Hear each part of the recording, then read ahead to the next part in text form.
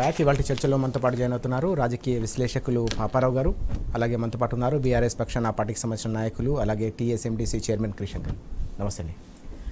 పాపారావు గారు ముందుగా మనం చూస్తే గతంలో మనం చూసాం ప్రభుత్వాల హయాంలో ఏదైనా హక్కుల కోసం పోరాడాలంటే కార్మికులు రోడ్లపైకి వచ్చి ధర్నాలు చేసిన పరిస్థితి లాఠీచార్జ్ జరిగిన సందర్భం గుర్రాలతో తొక్కించిన పరిస్థితులు కూడా మనం చూసాం హైదరాబాద్ వేదికగానే. కానీ ఎవరు అడగకుండానే సఫాయి కార్మికులకు సంబంధించిన సంక్షేమంపై ప్రభుత్వం పెద్ద ఎత్తున దృష్టి పెట్టడమే కాకుండా వారికి సంబంధించిన అభివృద్ధికి కార్యక్రమాలు తీసుకోవడమే కాకుండా ఏకంగా వేతనాల పెంపుకు సంబంధించిన నిర్ణయం కూడా రాష్ట్ర ప్రభుత్వం తీసుకున్న సందర్భం. తెలంగాణ ఏర్పడిన క్షణం నుంచి కూడా సఫాయి నీకు సలాం అన్నట్టు ఒక కొత్త నినాదాన్ని తెరపైకి తీసుకొచ్చారు ముఖ్యమంత్రి కేసీఆర్ గారు.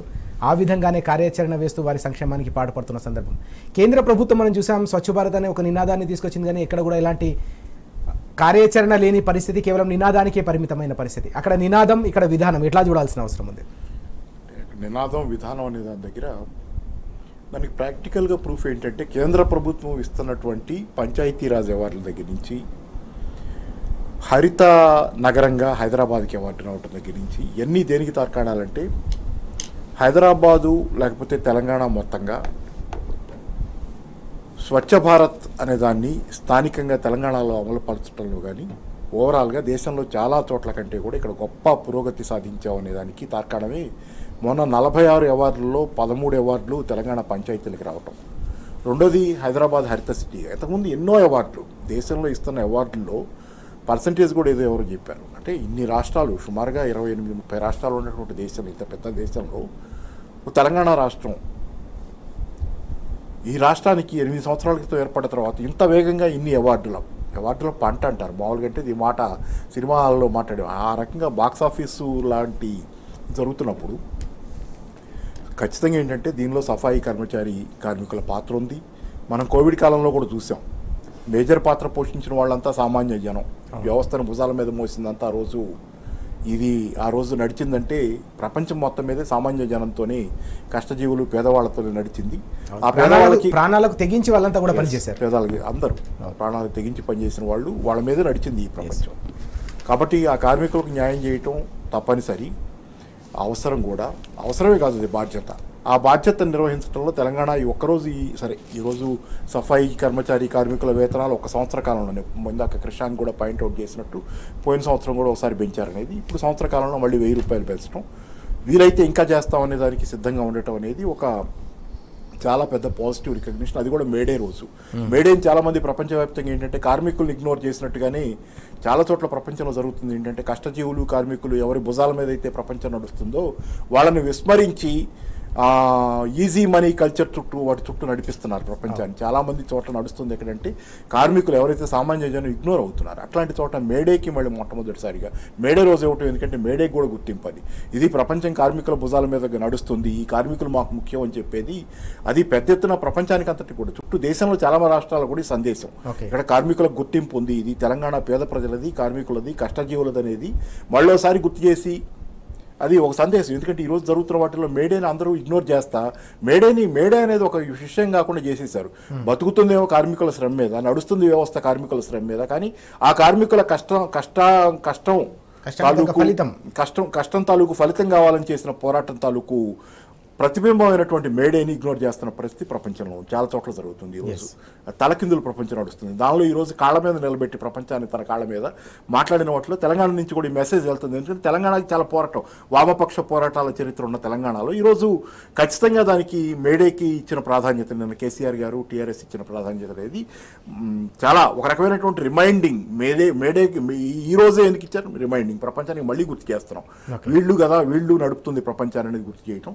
చాలా ముఖ్యమైనది అదే కాదు ఈరోజు సంక్షేమ విషయంలో చూసుకుంటే మేడే రోజు ఒక్క రోజు చేసింది కాదు ఇది. గత ఎనిమిది సంవత్సరాల్లో జరుగుతుంది కూడా ఇంతకుముందు ఎనిమిది సంవత్సరాల క్రితం ఈ రాష్ట్రంలో ఏ సంక్షేమం ఉంది? ఉమ్మడి రాష్ట్రంలో తెలంగాణకి ఏ సంక్షేమం ఉంది? మరి ఆంధ్రప్రదేశ్లో ఆ రోజు ఏ సంక్షేమం ఉంది?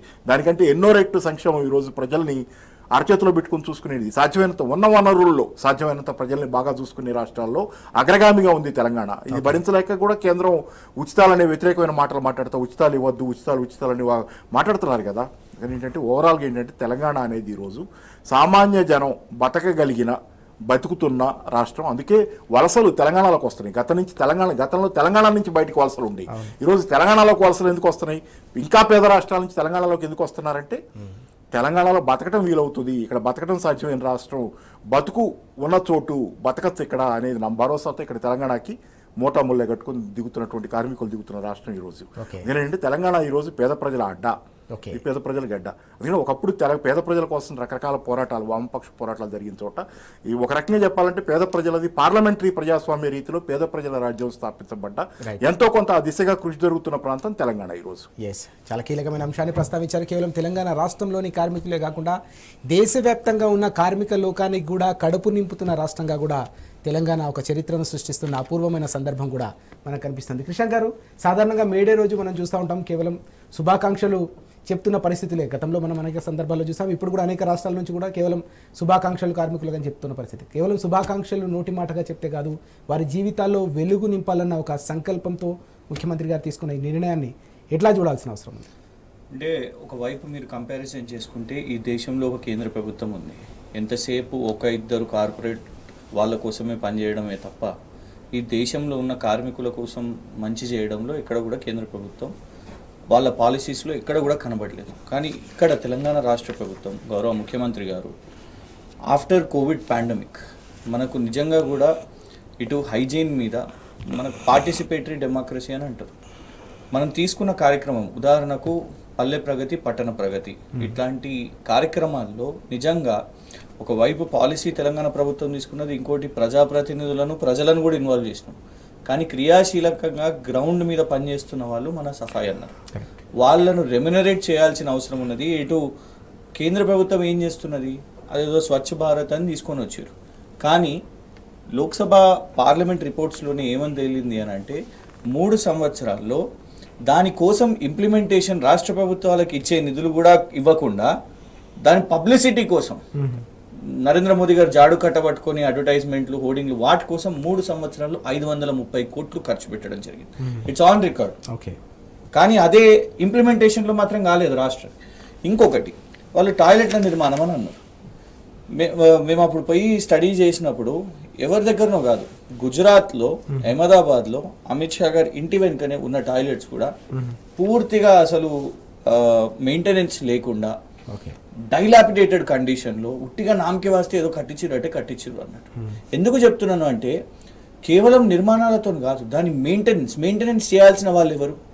వాళ్ళ పరిస్థితులు ఎట్టున్నాయి? వాళ్ళకి మీరు ఏం చేస్తున్నారు అనేది ఇంపార్టెంట్ రెండు వేల పద్నాలుగు కంటే ముందు ఎనిమిది వేల ఉన్న జీతాన్ని ఎప్పటికప్పుడు క్రమేపీ మనం పెంచుకుంటూ వస్తున్నాం. ఇవాళ డబుల్ ఇవాళ సెవెంటీన్ థౌజండ్ రూపీస్కి వచ్చింది అని అంటే డెఫినెట్గా తెలంగాణ ప్రభుత్వం ఎంత వాల్యూ ఇస్తుంది? వాళ్ళు చేస్తున్న సర్వీసెస్కి ఎంత వాల్యూ ఇస్తుంది? అంతేకాదు సైమిల్టేనియస్గా మనం తీసుకున్న నీట్నెస్ అంటే వాళ్ళతో పని చేయించుకుంటున్నాం కదా అని అన్రూలీగా వాళ్ళని చూడడం కాదు.